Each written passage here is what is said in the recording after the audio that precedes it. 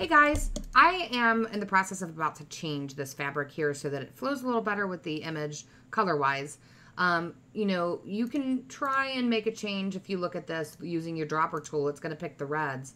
But if you look at this image, there's a lot of reds. So if we try to isolate that change, it's actually going to change pretty much everything. Um, so then you might say, well, I'll just manually select it. And when we do that, it just takes, oops, let's make sure we're on the plus here. It's going to go over certain areas. Actually, we don't want to select her. We're selecting the red. And you're just going to see that it's going to pick up certain areas and it's going to make um, this a little more laborious than it needs to be. So you could do this and make your changes, but then if you zoom in, you can see that the selection's not perfect. It's definitely going to leave certain reds out, for instance, right there. And you would have to go in and manually click, click, or, or paint that in.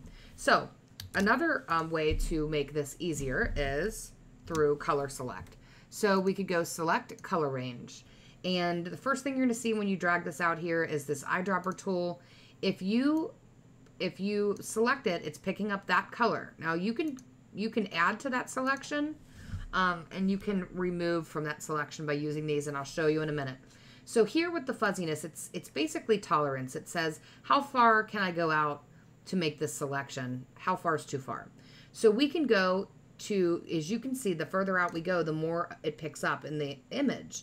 So we go down a little bit and you see there's maybe a little bit we have to clean up.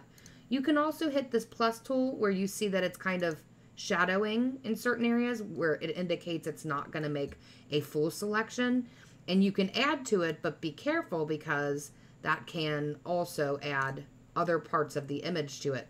I'm not too worried about this area here because that's not where all the detail is. It's right here and here. So I'm trying to minimize how much work I have to do to make this change. I do see that parts of her face are on there.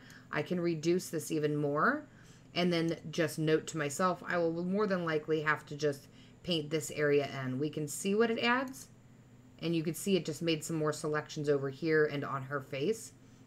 And that just puts us in a situation where we have to reduce again. Um, so now we've got our selection. The white means that it's selecting our um, the, the chair and then we hit um, OK.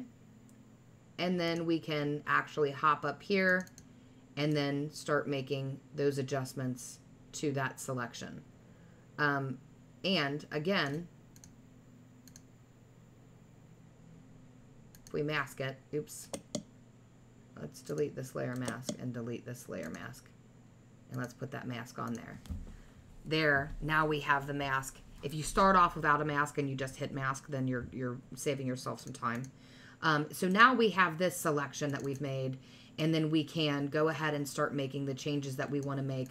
I will likely reduce. Now you can see there were highlights in there that we didn't pick up. So if there's something that you do and you're like, man, that's a little bit on the edge, I don't really want to deal with that, you can um, redo your selection and just um, add to it.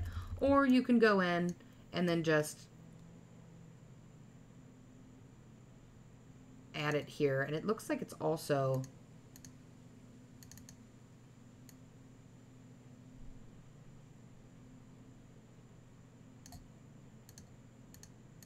Um, that color